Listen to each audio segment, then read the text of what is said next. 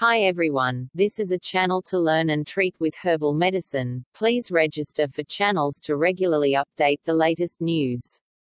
Sexual desire is influenced by physiological, psychological and social factors. Especially in today's age when women can enjoy a healthy sex life, the fluctuations in women's passion are still something mysterious. 1. Stress. SOC can cause women to reduce sexual desire. People, not machines, so when there are stresses, stress, job loss or loss of loved ones, sexual desire decreases. Did you know why Angela in the story of the scent of tangerines hardly feels pleasure with her new lover? The death of the lover and father of the child still exists in memory and she cannot feel pleasure even if it is just a pretense. Don't forget that craving for sex and love are two different emotions that are unrelated. To pass you need time. 2. In women with hormones reduce sexual desire. In addition to stress and emotional shock, women's postnatal status is no small factor affecting sexual desire. To stimulate lactation, the mother needs to rest and now the body secretes prolactin. It is also the hormone that reduces sexual desire.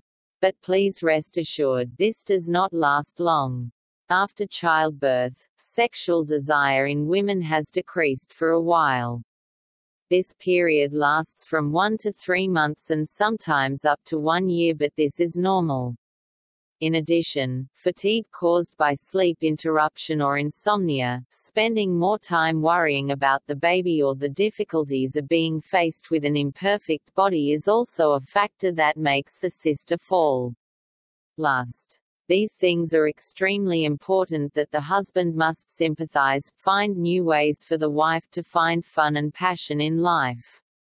3. Women's sexual desire peaks when ovulation. This period of ovulation is the period when fertility, hormone testosterone and estradiol increase and sexual desire. E in women also increases. 4. Sexual desire doesn't mean orgasm. Desire and pleasure are two emotions that are interrelated, but very different. When desire is intense, pleasure reaches its peak. But don't confuse pleasure with orgasm even if there is sexual desire, not necessarily orgasm. Even orgasm is less achieved without sexual desire. If you don't reach the orgasm level, you still have the ability to increase your orgasm. 5. Women's sexual desire does not come by eyes. A woman does not need to meet a handsome person who may have sexual desire for women, inner beauty, inside, is much more important. 6. Usually women have less sexual desire than men. Not so. Some men also have little desire and no interest in love. And some women on the contrary are very interested and passionate, about sex. The difference between the sexes is probably because sex desire in men is more easily revealed. The reason is because the man wants to prove that he is male and that he is a male. In contrast, female sexual desire is often more hidden.